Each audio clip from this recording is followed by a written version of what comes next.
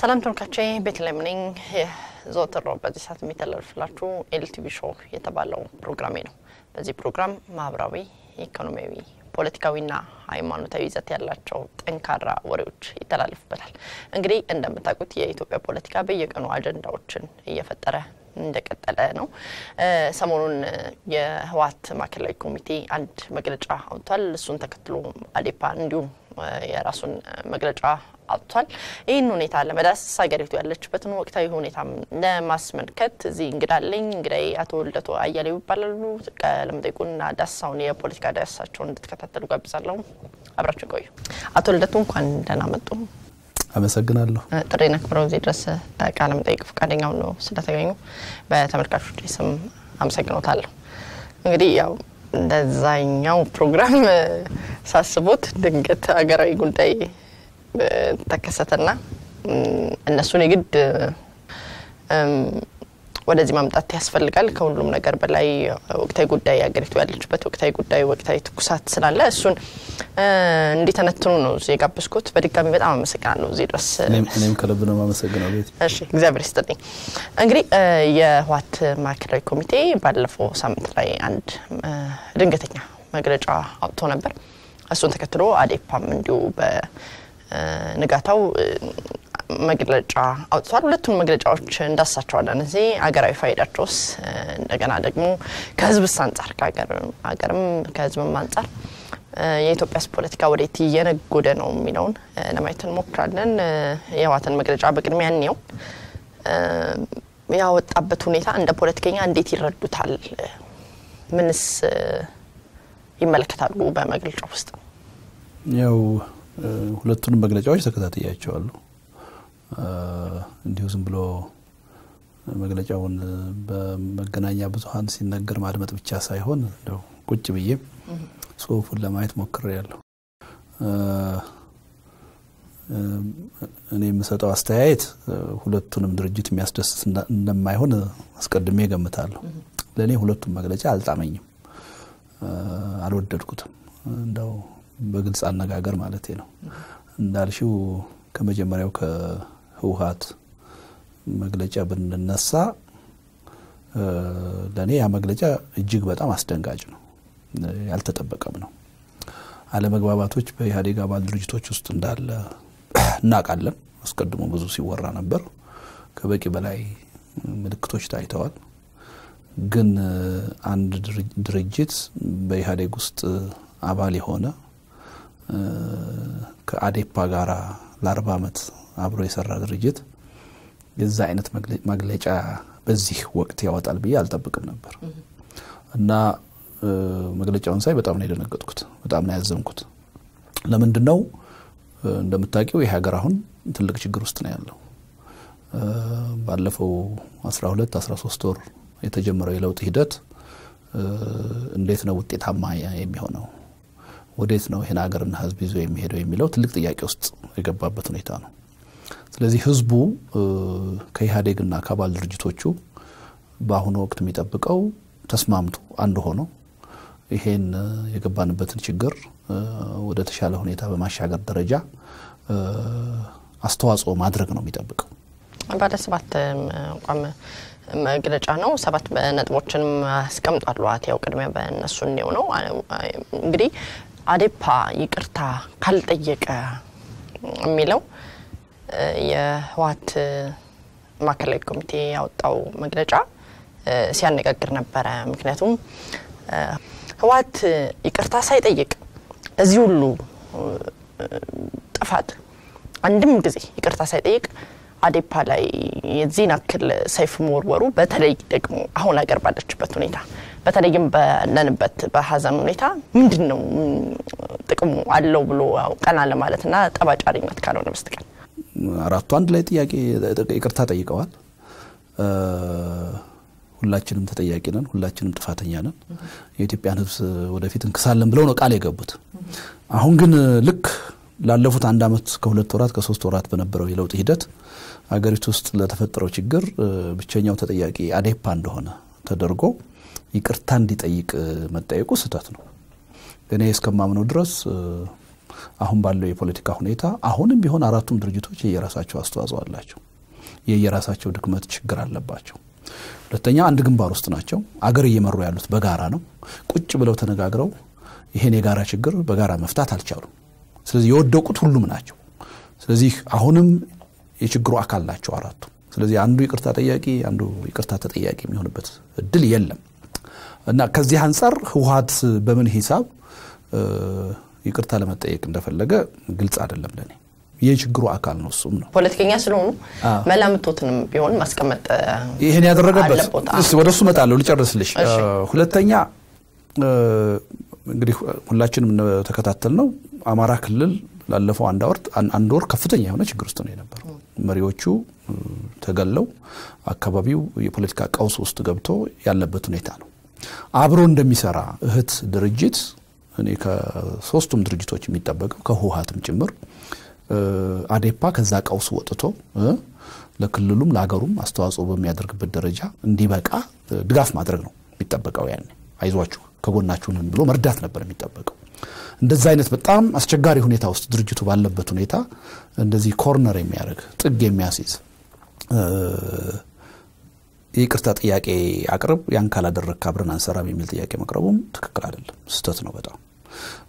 ይሄ ነው። እንግዲህ እኔ እስከሚገባኝ ድረስ ምንድን ነው የቲፒኤልኤፍ ብቻ ሳይሆን አጠቃላይ የኢህአዴግ ድርጅቶች ችግር ላለፈው አንድ ዓመት እያየሁት ያለሁት መልስ እየሰጡ ያሉት ለህዝቡ አይደለም፣ ለሀገሪቱ ችግር አይደለም።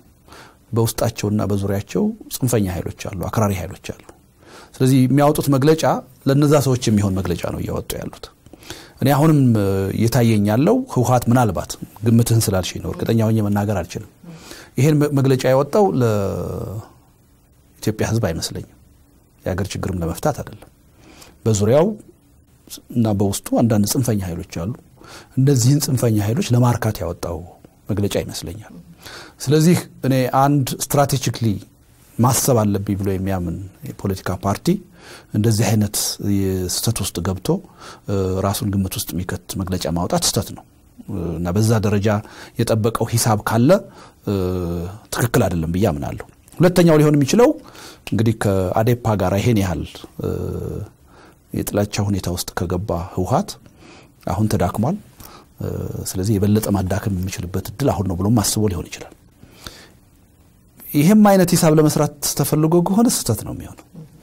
27 ዓመት ሙሉ ኢህአዴግ በሰራው የከፋፋይነት ፕሮፓጋንዳ ህብረተሰቡ ውስጥ አሁን ያለውን ስነ ልቦና በደንብ ያለማወቅ ይመስለኛል። እኔ የህወሀት መግለጫ በዚህ ደረጃ አዴፓን መክሰሱ ከህዝቡ ጋር የበለጠ ግንኙነት እንዲኖረውና ፍቅር እንዲኖረው ሊያደርገው ይችላል እንጂ ሊነጥለውና ሊያዳክመው የሚችል አይመስለኝም። እንደዚህ አይነት ውጤትም ተጠብቆ ከሆነ በጣም ትልቅ ስህተት ነው። አንደኛ መሆንም የለበትም። ሁለተኛ ያ የታሰበለትንም ነገር ሰርብ የሚያደርግ አይመስለኝም።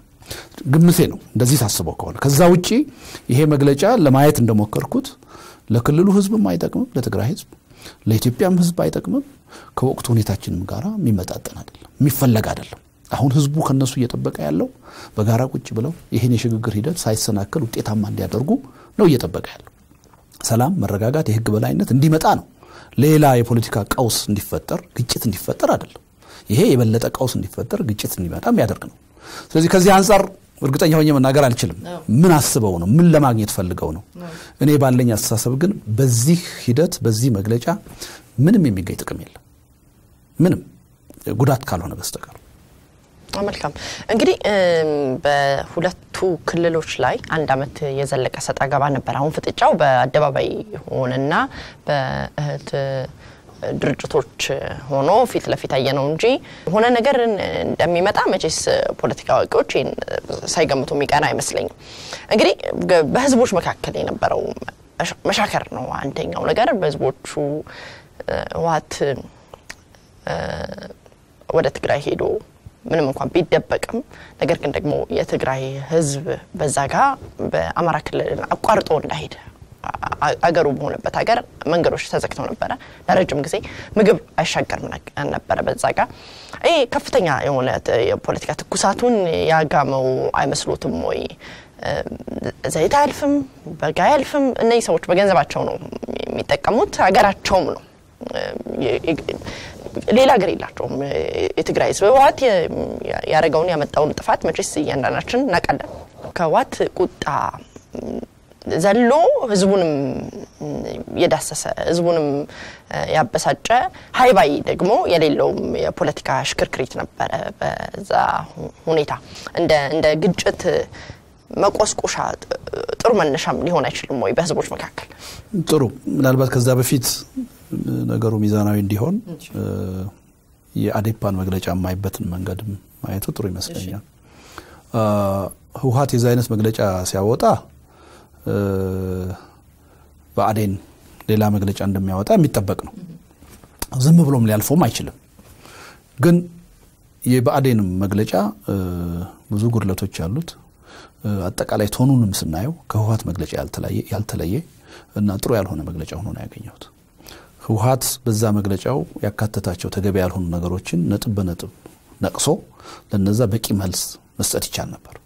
ከዛ አልፎ ከ1967-68 ዓመተ ምህረት ጀምሮ ህወሀት ያለፈበትን ሂደት የህወሀትን ባህሪ ማንነት በዚህ ቶን በዚህ ደረጃ ለመግለጽ መሞከሩ እሱም ተገቢ ነው ብዬ አንድ ላይ ሆነው ሲሰሩ የነበሩ ድርጅቶች ናቸው ለአርባ ዓመት ያህል።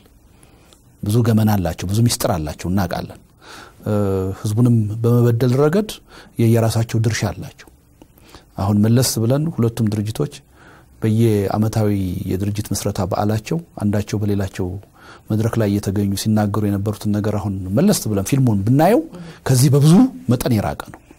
ብዙ ተቃዋሚዎች ስለ ህወሀት ምንነት ስለ ህወሀት አጀንዳ የምናነሳውን ተቃውሞ አብሮ ሲደፍቅ የነበረው አዴፓ ነው አሁን በአንድ ጊዜ ወደዚህ አይነት ጫፍ ሄዶ ነገሩን የበለጠ ወደሚያከር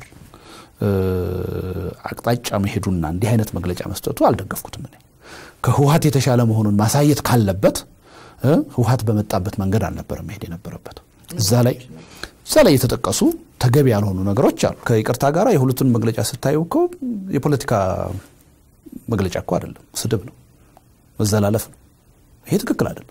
ከድርጅት የሚጠበቅ ነገር አይደለም እንመራዋለን ከሚሉት ህዝብና ክልልም ጋር አይመጥንም በተለይ አሁን ኢትዮጵያ ካለችበት ሁኔታ አንጻር አንድ ድርጅት ሆነው አንድ ግንባር ሆነው አንድ መንግስት ሆነው አገር እየመሩ ባሉበት ሁኔታ እንደዚህ አይነት ነገር ከእነሱ የሚጠበቅ አይደለም። ስለዚህ ያ መግለጫ መግለጫ መስጠቱን አልቃወምም የግድ ነው።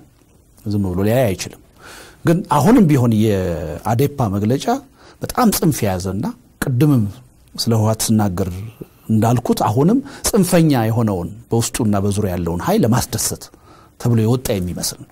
ይሄ ትክክል አይመስለኝም። ነጥብ በነጥብ የተነሱትን ነገሮች ለቅሞ ይሄ ትክክል አይደለም ይሄ ትክክል አይደለም የሚቀበለውም ነገር ካለ ይሄ ተገቢ ነው። ነገር ግን መባል የነበረበት ይህን ችግራችንን ፈተን አብረን መስራት ነው አሁን የሚጠበቅብን። የኢትዮጵያ ህዝብ የሚጠብቀው ከኛ ይሄን ነው።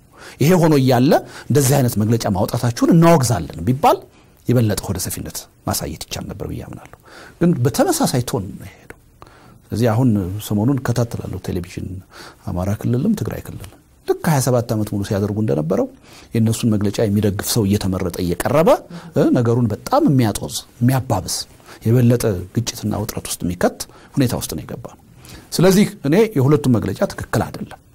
ግን ደግሞ ፍርድ ነውና የበለጠ ትክክል ያልሆነው ማን ነው ካልሽኝ ቀድሞ የጀመረው TPLF ነው። ህወሀት ነው። መጀመር አልነበረበትም። ተንኳሽ ነው የሆነው።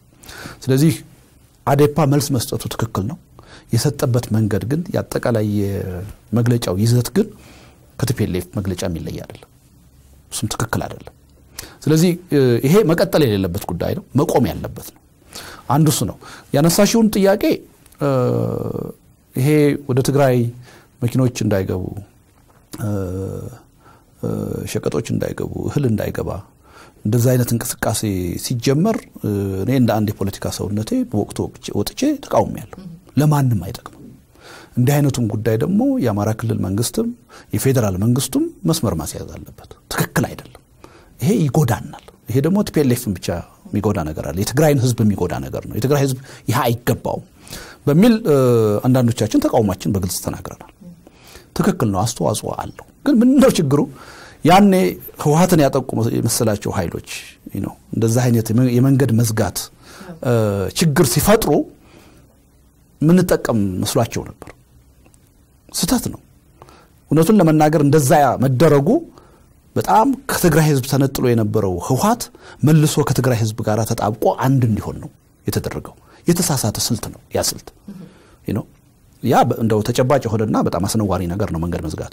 በኢትዮጵያ ተጨባጭ ሁኔታ መሆን የሌለበት ጉዳይ ነው። ለትግራይ ህዝብም ይሄ አይገባም፣ ለማንም ህዝብ።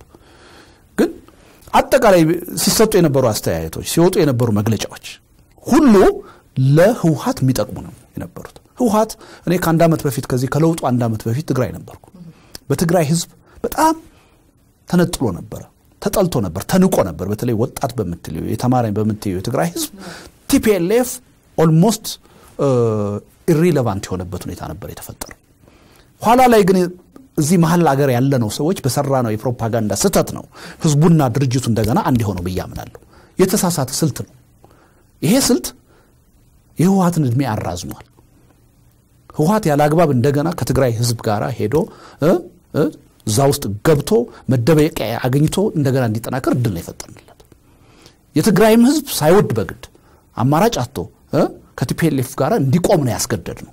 ይሄ ስህተት ነው ብዬ አምናለሁ። ቅድምም ስለ TPLF ሳወራሽ በአዴፓ ላይ እንዲህ አይነት መግለጫ ማውጣቱ ስህተት የሚሆነው አዴፓ የበለጠ ይዳከማል ወይም ደግሞ በአማራ ህዝብ ይጠላል ብሎ አስቦ ከሆነ ስህተት ነው። የህብረተሰቡን ስነ ልቦና ያለ ማወቅ ነው። ይሄ ጉዳይ የበለጠ ድርጅቱን ያጠናክረዋል። በዛ ዙሪያ ያለውን ደግሞ የአክራሪነት ስሜትም የበለጠ ለእነሱም ያለውን ጥላቻ ያጠናክረዋል እንጂ አያለዝበውም። መግለጫዎቻቸው ላይ አያለሁኝ አንዳንድ የፖለቲካ ጨዋታ እኛ ህዝቡን አይደለም ድርጅቱን ነው የሚል ነገር፣ እንደዚህ አይነት ነገር አሁን አይሰራም። አሁን ባለው ተጨባጭ ሁኔታ ህወሀትም በትግራይ ህዝብ ድጋፍ አለው፣ ምንም ጥርጥር የለው። ከአንድ ዓመት በፊት ከነበረው ሁኔታ በተለየ አሁን ድጋፍ አለው።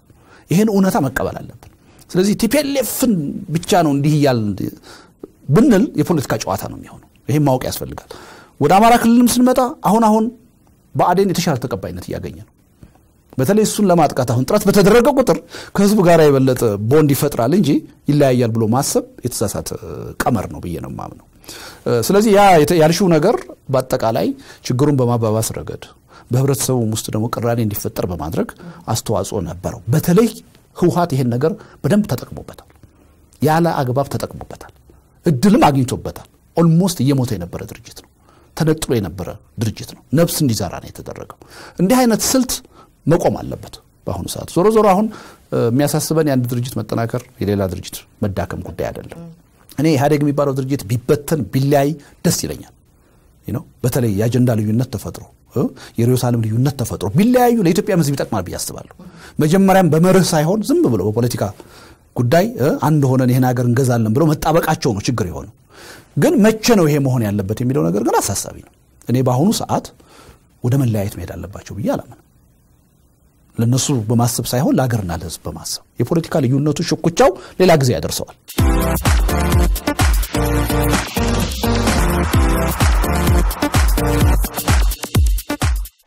ኢህአዴግስ ወዴት? ያው ሁለቱ ድርጅቶች ወጥተው ተዘላልፈዋል። መግለጫዎችንም ህዝቦች እየሰሙ አውጥተዋል። ከመሪዎች እንደዚህ አይነት መግለጫዎች ሲወጡ ህዝቡ ምን ይሆናል የሚለውን ህዝቡ አይባላም ወይ? ህዝቡ አይጨርስም ወይ? ህዝቦች እንደዚህ አይነት ነገርስ መስማት አለባቸውም ወይ? እንግዲህ ችግሩ አሁን የጀመረ አይደለም። የለውጥ ሂደቱ ከጀመረ ጀምሮ እያየ ነው የነበረ ጉዳይ ነው። እኔ ኢህአዴግ የበለጠ አደጋ ውስጥ መሆኑን የተረዳሁት የአዋሳውን ጉባኤ ካካሄደ በኋላ ነው። አዋሳ በተካሄደው ጉባኤ ታስታውሽ ከሆነ ዶክተር አብይ almost መቶ በመቶ ድምፅ ነው ያገኙት ከአንድ ድምፅ በስተቀር። ያ ድምፅም የሳቸው ሊሆን ይችላል። ሁሉም ህወሀትም፣ አዴፓም፣ ኦዴፓም፣ የደቡብ ህብረትም ሁሉም መርጧቸው። okay እሱን ነው እኮ ልነግርሽ የፈለግኩት። አደጋ ላይ መሆናቸውን እኔ ያወቅኩት ያኔ ነው። አንድ ሁለተኛ መሰረታዊ የሚባሉ ለዚህ የለውጥ ሂደት መነሻ ምክንያት የሆኑ ኢህአዴግ ላይ ሲነሱ የነበሩ መሰረታዊ የተቋማዊ ችግሮችን ለመዳሰስ ፍላጎት እንደሌላቸው ያሳዩት በአዋሳ ስብሰባ ነው። መሰረታዊ የሚባል ጉዳይ ጠረጴዛ ላይ ቀርቦ ውይይት ተደርጎ አቋም ሳይያዝ ነው የተወጣው። ዶክተር አብይን መቶ በመቶ መረጥን ብለው ነው የወጡት። ይሄ እውነት እንዳልሆነ ለብዙዎቻችን ግልጽ ነበር። እንደወጡ ነው ሽኩቻ ውስጥ እንደገና የገቡት። መጀመሪያም በዛ ሁኔታ አልነበሩ፣ አንድነት አልነበራቸው። ስለዚህ አሁን ምንድነው ስብሰባ ሲሰበሰቡ ጉባኤ ሲያካሂዱ አንድነት ብለው ይወጣሉ፣ እያስመሰሉ ነው። በተግባር ግን የሚሰሩት ከዛ የተለየ ነው። እኔ መሰረታዊ ችግር እንዳለባቸው በሀቅ እየሰሩ እንዳልሆነ የተገነዘብኩት በሐዋሳው ስብሰባ ነው። ስለዚህ ምንድን ነው ይሄ ችግር የቆየ ነው። ስብሰባ ብዙ ሰው ደስ የተሰኘበት ነው። በተቃራኒው ነው ሰው የሚነግሩኝ። በጣም ነው ማዝ እኔ ደግሞ በደንብ ኢህአዴግ ችግር ውስጥ እንደሆነ እያስመሰለ እንደሆነ በዚህ መንገድ ከሄደ ይህን የለውጥ ሂደት ወደ ውጤት ሊወስድ እንደማይችል የተረዳሁት በሐዋሳው ስብሰባ ነው። ሀቀኝነት ያለው ግልጽነት ያለው ስብሰባ አልነበረም። የማስመሰል ሂደት ነው የነበረው። እዛ ላይ ነው fail ያደረገው ኢህአዴግ። ያ ጉባኤ መሰረታዊ የሚባሉ ለዚህ ለገባንበት ችግር ተጠያቂ የሆኑ አጀንዳዎች ጠረጴዛ ላይ ቀርበው እስከ ርዕዮተ ዓለም ድረስ እስከ ስትራቴጂ ድረስ ውይይት ተደርጎባቸው አቅጣጫ ሊያዝባቸው የሚገቡ ጉዳዮች ነበሩ። አመራሩም ላይ ያላቸው vote of confidence መታየት የነበረበት ያኔ ነው። እኔ አሁን ዶክተር አብይ ስልሳ በመቶ ድምፅ አገኙ ቢባል ሰባ በመቶ ድምፅ አገኙ ቢባል እውነት ነው ብዬ ልቀበል ችል ነበር። መቶ percent ድጋፍ አገኙ ሲባል ይሄ ለእኔ ማስመሰል የውሸት ነው እና እዛ ላይ ነው ችግር እንዳለ የገባኝ። ስለዚህ ዞሮ ዞሮ ይሄ በጣም የሚያሳዝን ነው። ይሄ ድርጅት እንደ ድርጅት እንደ ኢህአዴግ አባል ድርጅቶቹ እኔ ከ27 ዓመት ሂደታቸው ያልተማሩ መሆኑን ነው እያየሁ ያለሁት። እኔ ኢህአዴግን እንደ ኢህአዴግ በግንባርነት የሚመራው ስራ አስፈጻሚ ኮሚቴ ይሄ ኃላፊነት አለበት። በተለይም ደግሞ ኢህአዴግን በሊቀመንበርነት የሚመሩት ዶክተር አብይ አህመድ የበለጠ ኃላፊነት አለባቸው። ድርጅቱን እየመሩ ነው። እኔ እንደውም አሁን እንደ ኢህአዴግ ማሰብ ካለብን የመጀመሪያው ስራቸው መሆን ያለበት ይህን ለውጥ ሂደት በጥሩ አቅጣጫ አስገብተው ለመምራትና ውጤታማ ለማድረግ ሲፈልጉ የመጀመሪያው ስራቸው መሆን ያለበት የውስጥ ችግራቸውን ግልጽ በሆነ ሁኔታ፣ ደፋር በሆነ ሁኔታ ገምግመው አቋም ይዘው ችግሮቻቸውን አቻችለው በሙሉ ልብ መምራት ነው የነበረባቸው። እንደዛ ሁኔታ ውስጥ አይደሉም ያሉ። ያን ሁኔታ ህወሀትም አልነገረንም፣ አዴፓም አልነገረንም፣ ኦዴፓም አልነገረንም። okay ጠቅላይ ሚኒስትሩም አልነገሩንም እንደውም እኔ አንድ ደስ ብሎኝ የነበረው ለምሳሌ ታስታውሽ እንደሆነ የዛሬ ዓመት ፓርላማ ላይ ጠቅላይ ሚኒስትሩ ምን ብለው ነበር? እንደውም ከዚህ በኋላ የሚካሄድ የስራ አስፈጻሚ ስብሰባ ለህዝብ televised እየሆነ በግልጽ እየቀረበ መወያየት አለብን ብለው ነበር። ጥሩ ነበር ይሄ። okay ማን ይሄን ለውጥ ከልቡ እየደገፈ ነው? ማን ለማደናቀፍ እየሞከረ ነው? በምን ሁኔታ ነው እየሰሩ ያሉት የሚለውን ህዝቡ ማየት ይችል ነበር ማየት ይችል ነበር። አሁን ግን ተመሳሳይ አካሄድ ነው የቀጠሉት። ተሰብስበው ምን እንደሚወያዩ ምን አቋም እንደተነሳ ማን ምን አቋም እንዳራመደ የምናውቀው ነገር የለም። አንድ ጥቅል መግለጫ የጋራችን ነው ብለው ያወጣሉ። እሱን እናነባለን። እያሳሳቱን ያሉት ሁሉም ናቸው። ሁሉም ተጠያቂ ናቸው በዚህ ረገድ። በተለይ ዶክተር አብይ የበለጠ ኃላፊነት አለባቸው በዚህ ረገድ። ይህን ድርጅት አንድ አድርገው አስማምተው የመምራት ዋናው ኃላፊነት እሳቸው እጅ ነው። ብቻቸውን ሊያደርጉት አይችሉም። የሁሉም አባል ድርጅቶች ቅንነት፣ ተሳትፎ ያስፈልጋል። ግን ደግሞ ከፍተኛ የሆነ ኃላፊነት አለባቸው። ይሄ ለውጥ መጥቶ ከፍተኛ የሆነ የህዝብ ድጋፍ እንዲያገኝ በማድረግ ረገድ የእሳቸው ሚና ከፍተኛ ነው። ይሄ ለውጥ ቢደናቀፍ ደግሞ ድርጅቱ ብቻ ሳይሆን እሳቸውም የበለጠ በታሪክም ተጠያቂ ይሆናሉ። ስለዚህ መስመር የሚያስት የውስጥ ችግር ሲፈጠር ከምንም በላይ ትኩረት ሰጥተው መስራት አለባቸው ይህን ጉዳይ ለመፍታት። የማይፈታ ከሆነ ደግሞ ሊፈታ ያልቻለበትን ምክንያት ለህዝብ በግልጽ ማውጣትና ህዝቡ በዛ ሂደትም ደግሞ የራሱን እርዳታና ግፊት እንዲያደርግ እድል መፍጠር ያስፈልጋል። ይህን እድል እኮ ህዝቡ አላገኘም። ቁሞ ነው እያያቸው ያለው። የሚናገሩት ይሰበሰባሉ። ተሰብስበው አሁን አንድ ፍሬ ያለው ነገር ይዘው ይመጣሉ ሲባል ምንም ችግር የለብንም፣ ተስማምተናል፣ ከመቼው ጊዜ በላይ ተጠናክረን ለመውጣት ተዘጋጅተናል። እንደዚህ ነው የሚሉት። ህዝቡን እያሳሳቱት ነው ነው። ስለዚህ ወደ መጀመሪያው ጥያቄ ልመለስና እድል አለው ወይ ነው አሁን ኢህአዴግ። እኔ አለው ብዬ ነው የማምነው። ይሄ ከዚህ አይነት የፖለቲካ ጨዋታ ቀልድ ወጥቶ ሲሪየስሊ ቁጭ ብለው በሀቅ ተነጋግሮ በድፍረት ተነጋግሮ ለህዝብ ግልጽ በሆነ ሁኔታ ልዩነቶቻቸውን ጠረጴዛ ላይ አስቀምጠው መቻቻል የሚችሉት የትኞቹ ልዩነቶች ናቸው? መቻቻል የማይችሉት የትኞቹ ናቸው? መቻቻል የሚችሉትን ይዘን እንዴት በጋራ እንቀጥል? እነዛ መቻቻል የማንችልባቸውን ጥያቄዎች ደግሞ ከምርጫ በኋላ እንዴት እንፍታቸው? በሀቅ ራሳቸውን ገምግመው ይሄ ሂደት ችግር ውስጥ እየገባ መሆኑን ይህን ሂደት በአግባቡ እየመሩት እንዳልሆነ በደንብ አምነው ተቀብለው ደፋር የሆነ ግምገማ ካካሄዱ እኔ እድሉ አላቸው ብዬ አምናለሁ። እንደገና ለመቀጠል እየረፈደ ነው ሁልጊዜ እንደምለው ግን አልመሸም። ሊመሽ ግን እየተቃረበ ነው። ስለዚህ ያን እድል የመጠቀም ፋንታ እነሱ እጅ ላይ ነው ያለው። አንዱ አማራጫቸው ይሄ ነው። አሁንም እንደዚህ አይነት ተገቢ ያልሆነ የመግለጫ መለዋወጥ ተገቢ ያልሆነ አለመተማመን ውስጥ ገብተው ፖለቲካውን ከሚያጨመላልቁት ይሄን በስንት መስዋዕትነት የተገኘ የለውጥ እድል እንደገና እንዲጨናገፍ አድርገው በታሪክም ተጠያቂ ከሚሆኑ አገሪቱንም አላስፈላጊ የሆነ ዋጋ ከሚያስከፍሉ አሁንም ተጸጽተው በዚህ ሂደት እድል አላቸው። ይህን ችግር ለመፍታት በድፍረት ግልጽ ውይይት ያደርጉ ለህዝብ የተደበቀ አይደለም ግልጽ የሆነ እንየው ማን ነው ተጠያቂ እዛ ውስጥ? ማን ነው በኃላፊነት እየሰራ ያለው? ማን ነው ይህን ሂደት እያጨናገፈ ያለው ጠረጴዛ ላይ አስቀምጠው በሚወያዩት ሀሳብ መመዘን የምንችልበት እድል ይሰጥ ህዝቡ ይሰጠው እኔ እድሉ አላቸው ብዬ አምናለሁ። መጠቀም ከቻሉ። ይሄን የማይችሉ ከሆነ ግን ሌላ አማራጭ የለውም። ቁርጡን ይንገሩን። ህብረተሰቡ የራሱን መንገድ ይከተላል። ይህ ሀገር ዝም ብሎ በእነሱ እጅ ሲፈርስ ቆሞ ላይ አይችልም ይሄ ህዝብ። ሁለት አማራጭ ነው ያለው ብዬ ነው ማምን ኢህአዴግ ቅድም እንዳሉት እንዳስቀመጡት እኔ ቢበታተን ደስ ይለኛል ወይም ያናክል ነገር ግን አሁን አገር ካለችበት ሁኔታ ደግሞ ግዴታቸው ነው ብለው አስቀምጠዋል። ከላቸው የርዕዮተ ዓለም ችግሩ እኮ በግልጽ እየታየ ነው የርዕዮተ ዓለም ልዩነት እንዳላቸው እኮ እየታየ ይህንን ፍርጥ አድርገው እንዲያስቀምጡ የርዕዮተ ዓለም ልዩነት የላቸውም ወይ? እንዴት አብረው አንድ ላይ ሊቀጥሉና ሊዋሃዱ ይችላል የርዕዮተ ዓለም ልዩነት እየታየ ነው። ለምሳሌ መጀመሪያ ኦዴፓ አብዮታዊ ዲሞክራሲን ከዚህ በኋላ እንደማይደግፍ ሲናገር ሰምተናል። አማራ ክልል ህገ መንግስቱ እንዲሻሻል እንደሚፈልግ ወይም አዴፓ የአብዮታዊ ዲሞክራሲንም እንደማይቀበል ሀሳብ ሲያነሳ ሰምተናል። በሌላ አንጻር ደግሞ ኦዴፓ በተለይ ህገ መንግስትንና የፌዴራል አደረጃጀትን በሚመለከት በዚህ ጉዳይ ጭራሽ አልደራደርም የሚል አቋም ሲያነሳ ሰምተናል። በሌላ በኩል ደግሞ ደግሞ ህውሀት በምንም መልኩ የህገ መንግስት ጉዳይ የፌዴራል አደረጃጀት ጉዳይ ሊነካ አይገባው በትክክለኛ መስመር ላይ ነው ያለ ነው የሚል አቋም ሲያራምድ አይተናል። ይሄ ሰፊ ልዩነት ነው። ግን ቅድም ያልኩትን ነገር አትርሽ አሁን ኢትዮጵያ የሚፈልገው ነገር አለ የእነሱ ልዩነት እንደተጠበቀ ሆኖ አገሪቱ ከፍተኛ የሆነ የፖለቲካ ቀውስ ውስጥ ናት። የህግ የበላይነት የለም ሰላምና መረጋጋት የለም በህልውና አደጋ ውስጥ ነው ያለን በመጀመሪያ ደረጃ ግንባር ናቸው እነሱ። የአራት ድርጅቶች ግንባር ነው ያላቸው። አሁን በ coalition መንግስት ስታቋቁሚ የትም ሀገር በሁሉም ነገር አንድ አይነት አቋም ይኖርሻል ማለት አይደለም። እኔ የሀሳብ ልዩነት በውስጣቸው መፈጠሩ እንደ ጤናማ ነገር ነው ማየው ችግር የለውም። ይሄ አለመሆኑ ነው እንደውም ድሮ ችግር የነበረው ምክንያቱም ድሮ የፖለቲካ ፕሮግራማቸውን ብታይ አራት ድርጅት ሆነው እያለ አንድ አይነት ፖለቲካ ፕሮግራም ነው ያላቸው። አራት ክልል ሆነው እያለ አንድ አይነት ህገ መንግስት ነው ያላቸው። ይህ የሚያሳየው ጤናማ የሆነ ዴሞክራቲክ የሆነ አሰራር በውስጣቸው እንዳልነበረ ነው። ልዩነት መፈጠሩ አሁን ችግር አይደለም። ተፈጥሯዊ ነው። እሱ አይደለም ችግሩ። አሁን ይሄን ልዩነት እንዴት የያዙት ነው? ልዩነት መኖሩን በገሃድ እያየን ነው። እነሱም እየተናገሩት እንዴት የያዙት ነው? አንደኛ እነዚህ ልዩነቶቻቸው እንደተጠበቁ ሆነው የጋራ ጉዳይ አላቸው ቢያንስ የጋራ አገር አገር አላቸው። ቢያንስ ይህ ሀገር ተረጋግቶ ወደ ተሻለ ሁኔታ መሸጋገር አለበት። ይሄ የጋራ አጀንዳ ነው። በዚህ ልዩነት ሊኖራቸው አይገባምም አይችልም። ስለዚህ እነዛን ልዩነቶቻቸውን ለጊዜው ወደ ጎን ያስቀምጡና በሚኒመም ፕሮግራም አብረው ይስሩ ነው።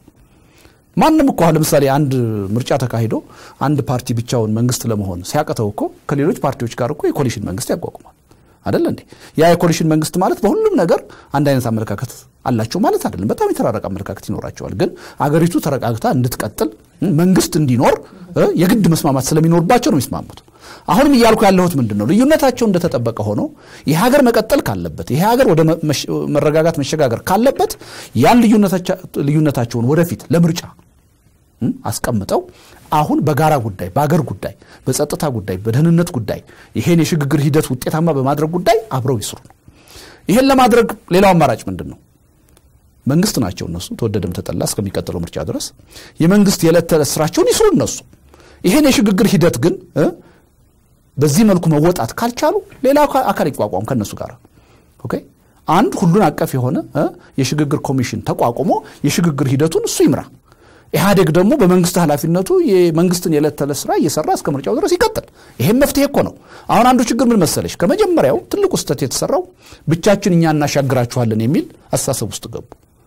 ይሄ ትክክል አይደለም። መጀመሪያም ህዝቡም የፈለገው እነሱ ብቻቸውን ወደ ጥሩ ነገር እንዲያሸጋግሩት አይደለም። ሁሉን አቀፍ የሆነ መድረክ ተፈጥሮ በጋራ መሸጋገር እንድንችል ነው። አሁን ችግሩ ምንድን ነው ውስጣዊ አንድነታቸውንም እያፈረሰው ያለው ይሄ ነው። ብቻችን እናሸጋግራችኋለን አሉ። ግን ደግሞ ብቻቸውን አይደሉም ሌሎች የፖለቲካ ኃይሎች አሁን ተጽዕኖ መፍጠር ጀምረዋል። ከውጭ ወደ ሀገር ውስጥ የገቡ የፖለቲካ ኃይሎች አሉ። ድሮም ሀገር ውስጥ የነበሩ የፖለቲካ ፓርቲዎች አሉ። እነዚህ ፓርቲዎች በድርጅቱ ላይ ራሱ ጫና እየፈጠሩ ነው። በአመራሩ ላይ ጫና እየፈጠሩ ነው። ማን ነው እየመራው ያለው ይህን ሀገር? ይህን ሽግግር ማን ነው እየመራ ያለው? ኢህአዴግ ነው ወይስ ሌሎች ውጫዊ ኃይሎች ከተወሰኑ የኢህአዴግ አካል ጋር ሆነው ነው እየመሩት? በዚህ ረገድ ራሱ ግልጽነት የለም። ምሳሌ ልስጥሽ አይደል እንዴ?